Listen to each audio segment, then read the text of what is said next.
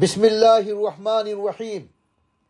نسیم سرکار کے بارے میں علامہ ضیاء المصطفیٰ کے تازہ بیان پر چند معروضات۔ حضرت علامہ ضیاء المصطفیٰ صاحب، سلام مسنون۔ آپ کا قول، جو فتویٰ حضور تاج الشریعہ علیہ رحمت و رضوان نے صادر فرمایا، وہ اب بھی باقی ہے۔ وہ کون سا فتویٰ؟ اس فتوے میں کیا ہے؟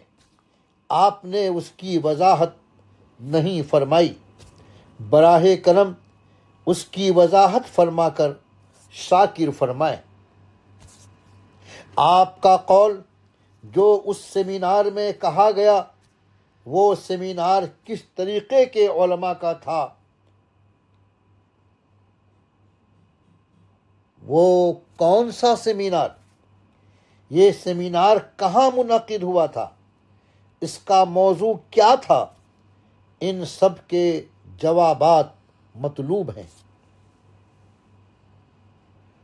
حضرت، کیا آپ کو اس سیمینار کے بارے میں پہلے سے کوئی اطلاع نہ تھی۔ اس میں کون کون علماء شریک تھے، کیا اس سے آپ واقف نہیں تھے؟ معتبر ذریعے سے ہمیں یہ خبر ہے کہ اس سیمینار میں شرکت کے لیے آپ کو بھی مدعو کیا گیا تھا۔ آپ نے شرکت سے معذوری ظاہر کرتے ہوئے یہ فرمایا کہ فیصلہ کروائیے، ہم اس پر تصدیق کر دیں گے۔ مگر بعد میں آپ نے اس پر تصدیق سے انکار کر دیا۔ کیا یہ صحیح ہے؟ اگر صحیح ہے، تو پھر آپ کا یہ کہنا کہ کس طریقے کے علماء تھے، بعید از فہم ہے۔ تاہم، آپ کی معلومات کے لیے اس سیمینار میں جو علماء شریک تھے، ان کے چند اسما اے ہیں۔ حضرت مولانا مفتی ناظر اشرف رضوی ناگپور، حضرت مولانا مفتی افضال رضوی مرکزی دارالافتا بریلی شریف، حضرت مولانا مفتی ملک الظفر سہسرامی، حضرت مولانا مفتی شمساد رضوی بدایون شریف، حضرت مولانا مفتی محمد قاسم مصباحی دھام نگر شریف وغیرہ کیا ان کا تفقع آپ کی نظر میں ناقص ہے؟ سیمینار میں کسی مسئلے کی تحقیق و فیصلے کی مجلس میں شرکت کے لیے کس درجے کا تفقع چاہیے واضح فرما دیں۔ محترم علامہ صاحب، اس فیصلے کے بعد بار بار مطالبہ کیا جاتا رہا کہ تحقیق کا دروازہ کھلا ہوا ہے۔ جو فیصلہ سیمینار میں ہوا ہے، اگر کتب اعلیٰ حضرت کی روشنی میں اس کے برعکس فیصلہ آئے، تو ہمیں رجوع کرنے میں کوئی آر نہ ہوگا۔ مگر اس پیشکش کو قبول نہیں کیا گیا۔ اور کسی اینکر کے سوال پر بلا نام لیے جو چاہا کہہ دیا گیا۔ آپ نائب قاضی القزات کے عہدے پر فائز ہیں۔ کیا آپ کے نزدیک تقاضۂ قضا یہی ہے؟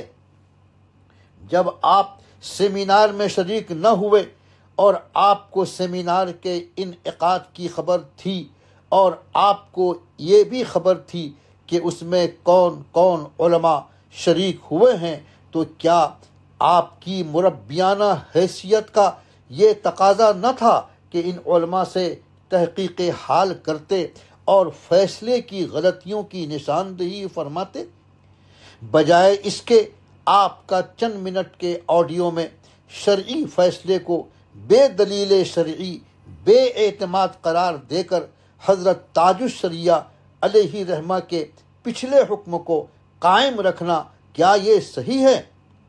جبکہ فقیح النفس حضرت علامہ مفتی محمد مطیع الرحمان مزتر نے اپنی تقریر میں یہ فرمایا تھا کہ آج اگر حضور تاج الشریعہ ہوتے تو وہ بھی وہی حکم دیتے جو محمد مطیع الرحمان دے رہا ہے۔ علامہ محترم، اس سیمینار میں بند احقر سید آل رسول حبیبی ہاشمی بھی مدعو تھا اور بندہ نے اس مسئلے پر مسلک اعلیٰ حضرت کی روشنی میں اپنی تحقیق بھی پیش کی تھی۔ بندہ بار بار یہ اعلان کر چکا ہے کہ جہاں سیمینار قائم ہوا تھا، اگر وہیں دوسرا سیمینار قائم کر کے کتب اعلیٰ حضرت کی روشنی میں اس فیصلے کے برعکس کوئی دوسری تحقیق سامنے آئے گی، تو ہمیں رجوع کرنے میں جھجک نہ ہوگی۔ اس لیے کہ ہم اور ہمارا پورا خاندان بلکہ مریدین و معتقدین کا پورا حلقہ مسلک اعلیٰ حضرت کا پابند ہے۔ اس لیے عرض ہے کہ اڑیسہ میں اہل سنت کے مابین اس مسئلے کو لے کر سخت بے چینی پائی جاتی ہے اور قوم انتشار کا شکار ہے۔ حضور والا جلد جواب عطا فرما کر مطمئن کریں تاکہ یہاں کی سنیت میں اتحاد و یکجہتی کی فضا ہموار ہو سکے۔ فقط سید آل رسول حبیبی ہاشمی غفر اللہ سجادہ نشین، خانقاہ قدوسیہ، بھدرک شریف، اڑیسہ۔ تاریخ اشاعت، اکیس ذیقادہ چودہ سو چوالیس ہجری، روز ایک شمبہ